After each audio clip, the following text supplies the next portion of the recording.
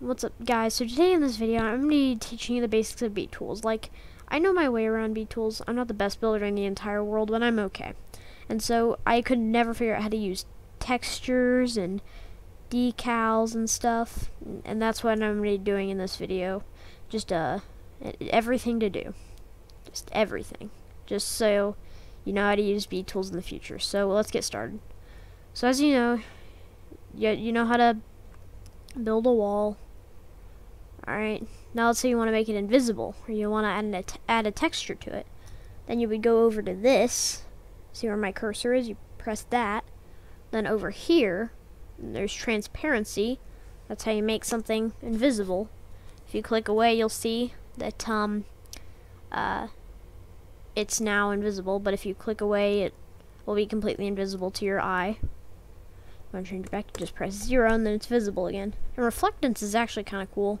Just pick a random big number, like 9,000, and then you can see that little thing right there. I thought that was kind of cool. So there's that. And now to add a texture, as you could probably figure, it's at this very top part. There's all these.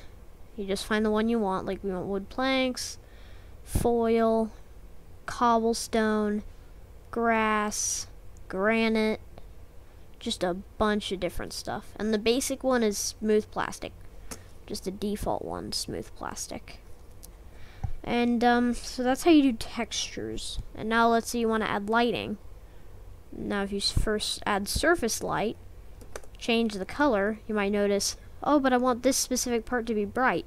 Then click the specific part and it'll be make it brighter. Just anywhere you want it just like that. And then you want to get rid of it, just click remove right there. And then my other favorite part, most other games that have btools, they have an explorer tool right where my cursor is pointing at. In this game they don't, but there's a way to get it. So I'm going to do that real fast.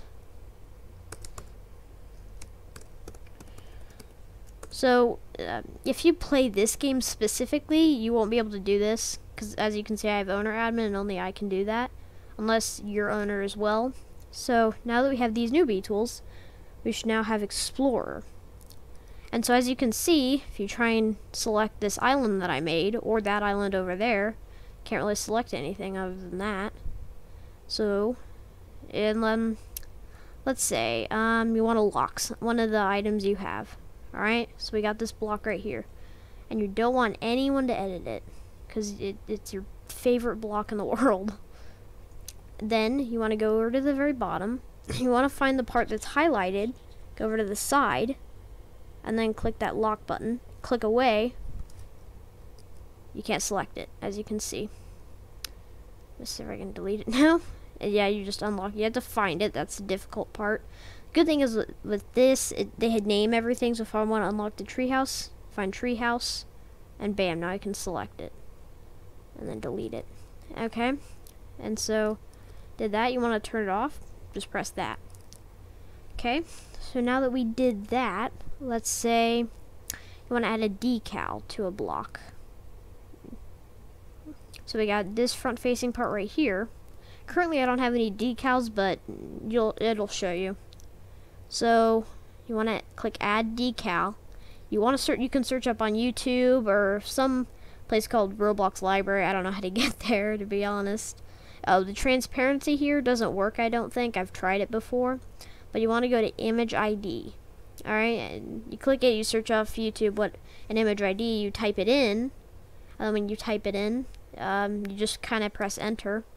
And then it'll pop up on this. And so there's that. And then here's my favorite part. So as you know, blocks, they're kind of hard to move around sometimes. Like, let's say you want to get something precise, like a wall. You want to get a wall precisely on the corner. So, to move it a little um, less jumpy, you want to go over where my cursor is, go to increment, type in an increment. I recommend 0.001, just the lowest increment I can think of. Press enter, and as you can see, it's now less jumpy. It doesn't go from here to here. It's just kind of like really, really small little movements. And you can do, say, do the same thing with the resize tool. Like, see, it's really jumpy. change the increment to 0.001, it's now a lot smoother, a lot more smooth, as you can see. And then if you die, you're going to have to reset it. Because like if I reset, it'll go back to 1. And we don't want that.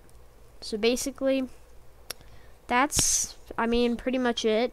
And uh, the other stuff you can find, pretty basic stuff. Um, I guess I could add, there's actually something else I want to show. Because it, it's actually kind of cool. Alright, so let's say you want to attach something to your body. Okay, this is actually quite simple.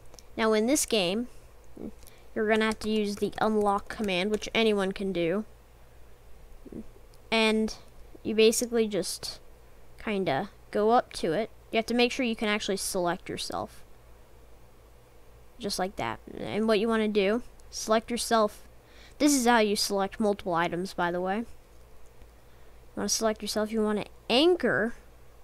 Anchor yourself to the block, okay, like this you want to go over to this this thing over here weld to last create 18 welds go back to the anchor tool unanchor yourself and then bam bam you can move it's a little weird because like you anchored yourself and merge yourself so you won't you won't have the walking animation anymore but to basic stuff that's pretty much how you do it Let's just reset a little bit oh Looks like she joined. Okay. Um, so yeah, you do that. And yeah, there's the block from earlier. Yeah, I say I'd say that's pretty much it. Um, oh, one more, one last thing. You can also find mesh IDs from somewhere. So go over to where my cursor is. Click add mesh. Same thing. Well, hang on.